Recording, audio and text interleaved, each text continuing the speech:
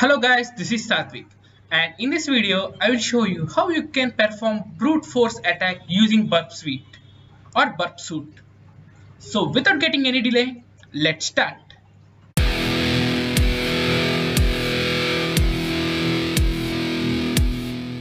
Friends, I am performing this attack on a damn vulnerable web application in a VMware.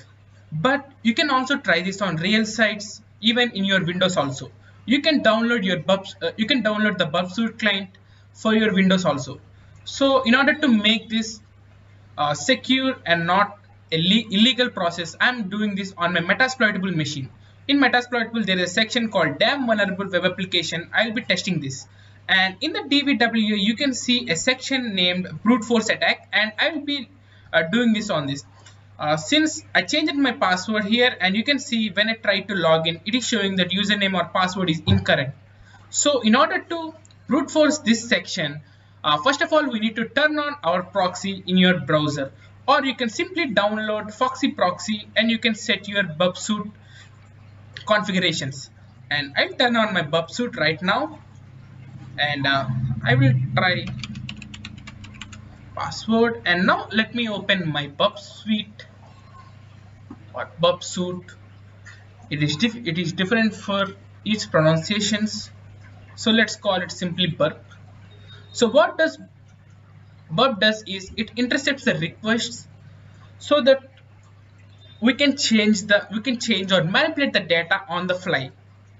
So now uh, not only now we'll look at a section named intruder where we will perform this attack. So I had opened my burp, burp suit uh, which is a community edition. You can also try this on your professional edition if you are having it. So let me come to my application and I had entered a password uh, which is not correct and let me try to log in. Sorry. Yeah, okay. Uh, now let me try to log in. Yeah, uh, you can see that burp has intercepted this request and in the proxy and in the intercept section you can see a data and you might also see another uh, another data. If you don't see the thing like username and password don't use it.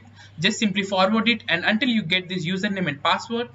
And now if we want to brute force this thing so uh, this request so let's right click on this and set the option set to the uh, send to intruder. And now go to your intruder section and here you can see that the host uh, which is the IP address of our met, uh, metasploitable machine and the port. And let's go to the position section. And here here comes the real part. Here you can see the ampersand symbols uh, ampersand symbol and the green part uh, sorry green green color highlighted part. This shows that we will uh, by default it is brute forcing all the sections but we don't need to do that. So let me clear the ampersands so there will be no more brute force attacks. And now select the thing. Uh, this is our section. And click on add ampersand. So we'll be only brute forcing on this section. Right? And now let's go to the payloads. And now let's load our payload. Or you can add simply by typing over here. But I will load it. Password.txt this is a simple thing I had done. Open it. And I'll also show you my word list since for the demonstration purpose I, I used a simple uh, password word list. You can see the password is this only. So I'll close it. And I had added my uh, word list right here. And now you can click on start attack. Click on ok. And this is much more efficient than Hydra because you need to do lots of stuff in Hydra but here it's really really simple. And let's wait until it completes all the process. And unlike in hydra you won't see like uh, you got the password or anything like that. Yeah i think my brute force attack is completed. No no no. 6 by 5 6 by 9 yeah. So let's wait until it completes. Yeah it's complete. It's finished right now.